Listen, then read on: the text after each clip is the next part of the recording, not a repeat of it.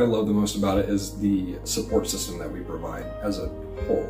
Um, it's not just one thing. It's um, you know working with different providers. It's working with clinicians and it's working with an entire support system to help improve um, people's lives.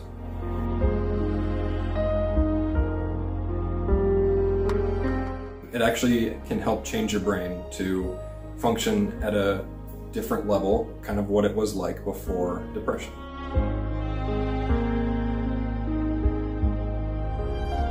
When they first come in, they're a little bit skeptical or they're not really sure what to expect. And once they actually do start to feel a difference, they are almost like stricken um, with not grief, but like of appreciation and being able to actually do things that they have always wanted to do, going back to school or joining a yoga class.